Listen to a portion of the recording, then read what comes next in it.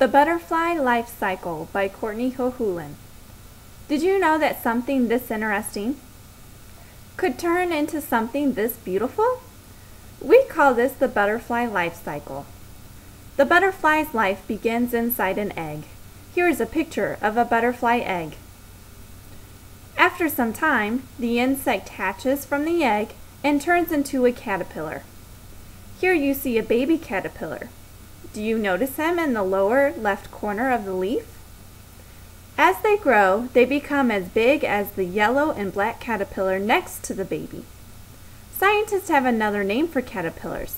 They like to call them larvae. Before long, the larvae decide to move on to the next stage of the butterfly life cycle. The caterpillar, or larva, find a good place to turn into a pupa.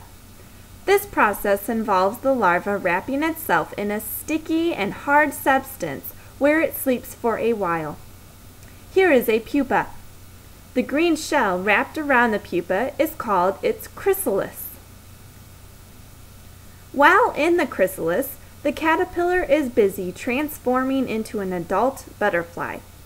This takes some time, and when the transformation is done, the butterfly breaks out of the chrysalis shell. Here you see one butterfly that has just broken free from the shell. It is now an adult butterfly that we all know and love. Like all life cycles, the need for a species to continue includes reproduction. While being an adult butterfly, they restart the life cycle by laying new eggs for future cycles to begin.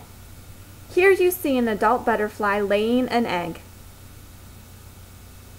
After some time, that egg will hatch into a caterpillar and the process begins all over. It will keep going until something or someone disrupts or stops the cycle. Now that we understand how a caterpillar turns into a butterfly, do you think that you can name all of the different stages of the life cycle?